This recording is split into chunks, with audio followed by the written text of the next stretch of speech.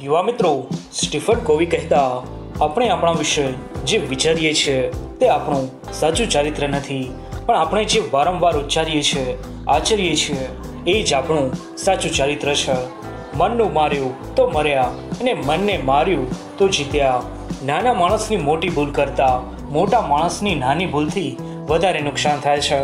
નમસ્કાર દોસ્તો, મારું નામ સુરત, મારી ચેનલ સુરત દરજીમાં તમારા સૌનું સ્વાગત છે. ફોરેસ્ટ ગાર્ડ સ્પેશિયલ નોલેજ જેની અંદર સ્પેશિયલ આર્ટ ક્વેશ્ચનની વાત કરીશું, જેમાં મસાલાની રાણી, સફેદ સોનું, શતાબ્દી વૃક્ષ, એકવીસમી સદીનું વૃક્ષ વગેરે જેવા પ્રશ્નોની ચર્ચા કરીશું.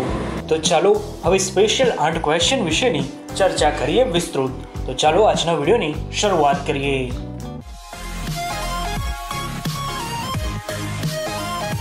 પ્રથમ પ્રશ્ન જોઈએ. તો એ છે કે કઠોળનો રાજા તરીકે કોને ઓળખવામાં આવે છે?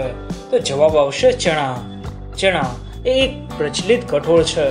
વનસ્પતિ શાસ્ત્રમાં જેનું શાસ્ત્રીય નામ સાઇસર એરિએટનમ છે. અન્ય કઠોળની સરખામણીમાં ચણા વધુ પ્રમાણમાં પ્રોટીન ધરાવે છે. આ એક પ્રાચીન કઠોળ પણ છે. લગભગ પંચોતેરસો વર્ષ પહેલા તેની ખેતી થતી હોવાના પુરાવા પણ મધ્ય પૂર્વ એશિયાની અંદર કેટલાક સ્થળોએ મળ્યા છે. ચણાને ચિકપી ગાર્બાન્ઝો બીન સેસી બીન સનાગાલુ હ્યુમુસ અને બેંગાલ ગ્રામના નામથી પણ ઓળખવામાં આવે છે.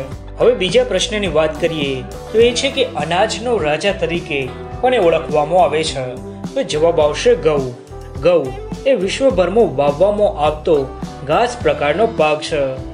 ખોરાકમાં ઘઉંનું સ્થાન મહત્વનું છે અને વિશ્વમાં તેનો વપરાશ પણ બહોળા પ્રમાણમાં થાય છે. બધા પ્રકારના અનાજ કરતાં ઘઉંમાં પૌષ્ટિક તત્વ વધારે હોય છે. રોજિંદા ખોરાકમાં વપરાતા સર્વ પ્રકારના અનાજમાં ઘઉં શ્રેષ્ઠ છે અને તેની આ ગુણવત્તાના કારણે જ ઘઉં ધાન્યોમાં રાજા ગણાય છે. હવે ત્રીજો પ્રશ્ન જોઈએ તો અનાજની રાણી તરીકે કોને ઓળખવામાં આવે છે? તો જવાબ આવશે મકાઈ. મકાઈ એક મુખ્ય ખાદ્ય કૃષિ પાક છે, જે જાડા અનાજની શ્રેણીમાં આવે છે. મકાઈની સામાન્ય રીતે દાણા સૂકવીને તેનો લોટ દળી, રોટલો બનાવી ખવાય છે. આ ઉપરાંત, મકાઈના ડોડાને શેકી અથવા બાફીને ખાવાની રીત પણ ખૂબ જ પ્રચલિત છે. અમેરિકામાં પાયોનિયર ટાઈમસ નામે ઓળખાતા ગાળામાં મકાઈના લોટના બનેલા રોટલા અને બ્રેડ લોકોના રોજિંદા ખોરાકનો ભાગ હતા. આજે અમેરિકા જેવા વિકસિત દેશો મોટા પ્રમાણમાં થતા માંસાહાર માટે ઉછેરાતા પ્રાણીઓના ખોરાક માટે પણ મકાઈનો ઉપયોગ બહુ પ્રચલિત રીતે કરતા હોય છે. ચોથો પ્રશ્ન જોઈએ તો મસાલાની રાણી તરીકે કોણ જાણીતું છે? તો જવાબ આવશે ઇલાયચી ઇલાયચી એક એવો મસાલો છે જેનો પ્રયોગ વર્ષોથી ભારતીય લોકો દ્વારા રસોઈ ઘરમાં તેને ઉપયોગ કરવામાં આવે છે. તેનો ઉપયોગ ખાવાના સ્વાદને વધારવાની સાથે સાથે ખાવામાં સુગંધ પણ લાવવા માટે પણ તેનો ઉપયોગ કરવામાં આવે છે. દેખાવમાં ઇલાયચી ભલે નાની હોય છે, પરંતુ આરોગ્યના માટે આ ઇલાયચી વધારે ફાયદાકારક હોય છે. પાંચમો પ્રશ્ન જોઈએ તો વૃક્ષની અંદર વનોનો રાજા તરીકે કયું વૃક્ષ ઓળખાય છે? તો જવાબ આવશે ટીક વૃક્ષ. સાઇક ટ્રી હકીકત એ છે કે ઇન્ડોનેશિયા એ વિશ્વનું સૌથી મોટું ટેક સપ્લાયર છે. ઇન્ડોર અને આઉટડોર ફર્નિચર માટે ટીક વૃક્ષના લાકડાનું ખૂબ જ મૂલ્ય છે. ટીક એટલે કે આપણા શાકનું લાકડું ખૂબ જ મજબૂત હોય છે. અનુકૂળ પરિસ્થિતિઓ હેઠળ તેને સદીઓ સુધી સાચવી શકાય છે.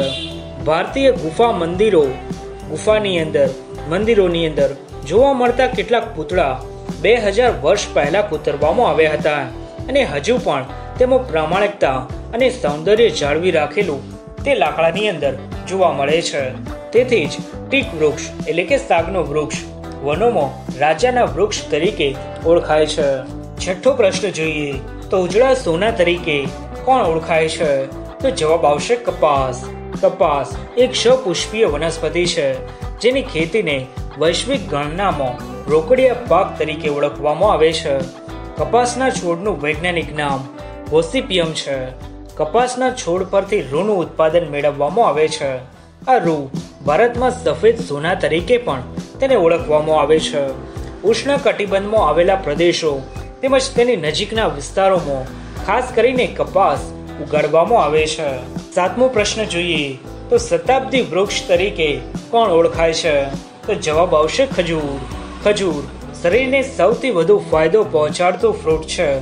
તે ખાવાથી શરીરને અનેક પ્રકારના ફાયદા થતા હોય છે. ખજૂરમાં copper fibre manganese, potassium, magnesium અને વિટામિન બી સિક્સ જેવા ભરતૂર માત્રામાં શક્તિઓ રહેલી હોય છે. આઠમો પ્રશ્ન જોઈએ તો એકવીસમી સદીના વૃક્ષ તરીકે કોણ જાણીતું છે? તો જવાબ આવશે લીમડો. લીમડો, જેને અસ્દિરસ્તા ઇન્ડિકા એ મેલેએસી કુળનું વૃક્ષ છે. આઝા ડિરેક્ટા ઇન્ડિકા વનસ્પતિના વર્ગની બે શ્રેણીમાંથી તે એક છે. ઉષ્ણકટિબંધ અને પેટા ઉષ્ણકટિબંધ વિસ્તારમાં તે ઉગતી હોય છે. લીમડો એ સદાય લીલું રહેતું હોય છે, પરંતુ તીવ્ર દુષ્કાળની અંદર તેના લગભગ અથવા તમામ પાંદડા ખરી જાય છે. લીમડાનું વૃક્ષ એ દેખાવમાં ચાઇના બેરી જેવું સમાન હોય છે અને તેની તમામ ભાગો ખૂબ જ કડવા હોય છે.